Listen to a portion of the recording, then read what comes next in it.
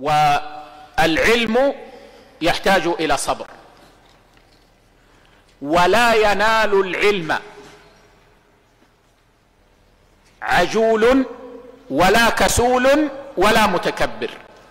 من ابتلي بآفة من هذه الآفات الثلاث فليغسل يده من العلم. لن ينال العلم. لن ينال العلم عجول. ما يصبر.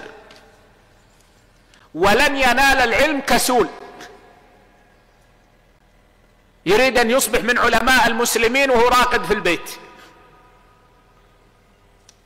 ومن صور هذا من صور هذه المعاصرة أن بعض الناس صار لا يحضر مجالس أهل العلم باعتبار أن الدرس منقول. فينام على السرير ويستمع للدرس.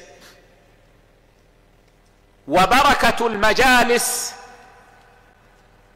والمشافهة والأخذ من الشيخ لا تنال إلا بالحضور بإذن الله عز وجل. ولا ينال العلم متكبر.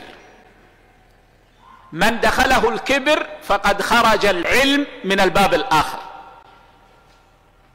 الذي يقول أنا ما أحتاج أن أتعلم خلاص أنا كبرت وصرت ما شاء الله وأنا الآن طالب علم أدرس.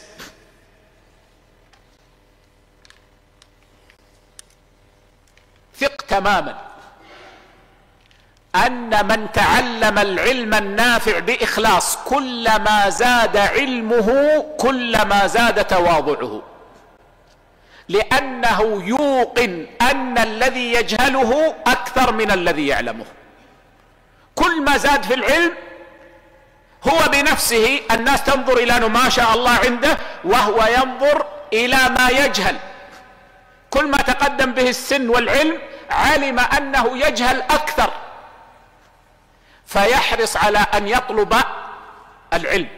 ولذلك أنا أوصي نفسي وإخواني يا إخوة بالتخلص من هذه الآفات الثلاث.